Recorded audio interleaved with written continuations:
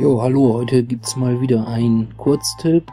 Und zwar hatte ich vor kurzem einen defekten Sony Blu-ray Player hier, der sich nicht mehr einschalten ließ. Also der absolut kein Lebenszeichen mehr von sich gegeben hat.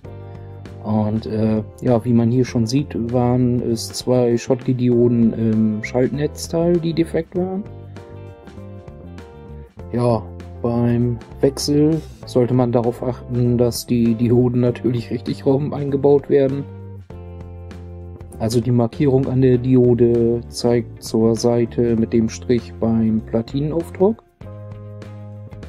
Ja, hier sieht man das mal, da saßen die beiden. Da ist der Strich und ja, hier ist die Markierung an der Diode. Und ja, dann sollte man auch noch darauf achten, dass man die äh, Beine der Diode abwinkelt. Ja, damit die auch fest sitzt und sich nicht selber auslötet, falls die mal im Fehlerfall sich stark erwärmt und äh, so vielleicht einen Kurzschluss verursachen könnte. Ja, hier sieht man auch schon die Isolation unten, die darf man auf keinen Fall vergessen. Äh, mit diesem blauen Strich, diese Kunststoffkarte und ja, hier ist das Netzteil schon wieder eingebaut und die Verbindung mit dem Kabel zur Hauptplatine muss man natürlich auch wieder herstellen.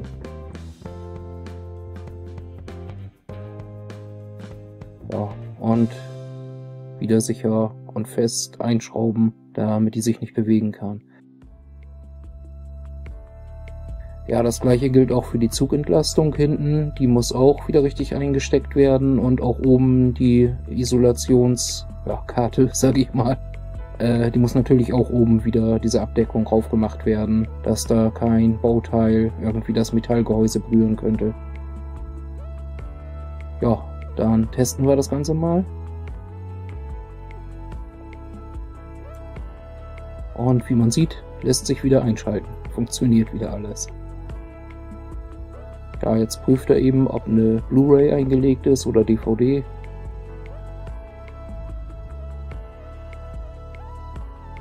Und zeigt an keine Disk, weil eben keine eingelegt ist. Bildschirmausgabe funktioniert auch. Wie gesagt, wer auch ein Problem mit seinem Blu-ray-Player hat, mit seinem Sony, mit diesem Modell, kann ja mal nachgucken, ob es bei ihm auch an den Schottgedioden liegt. Einfach mal mit dem Messgerät durchmessen. Aber wie gesagt, auf eigene Gefahr und auf jeden Fall immer vorher Netzstecker ziehen und auch die Kondensatoren entladen.